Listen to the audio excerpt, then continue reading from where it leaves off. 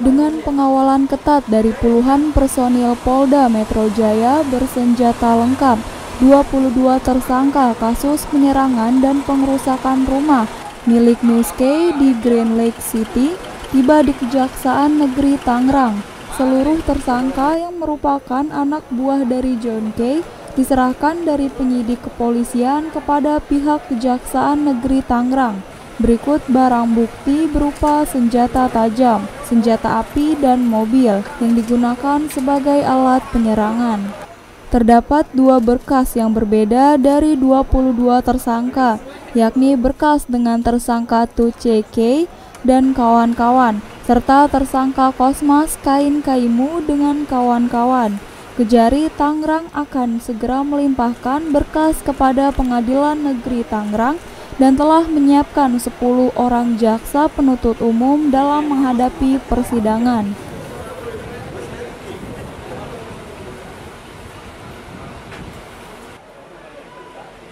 Hari ini sudah penyerahan tersangka dan barang bukti atas nama Tuske dan kawan-kawan.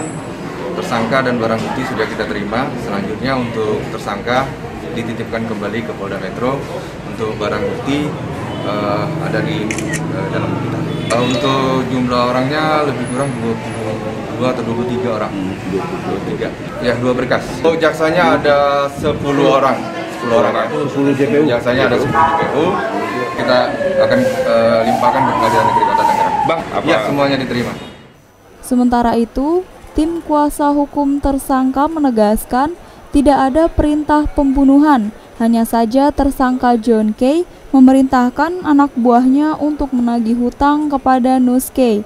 Pengikut maupun kerabat John Kay diimbau untuk tidak hadir selama proses persidangan berlangsung di Pengadilan Negeri Tangerang, namun menyaksikan melalui layar kaca dari rumah.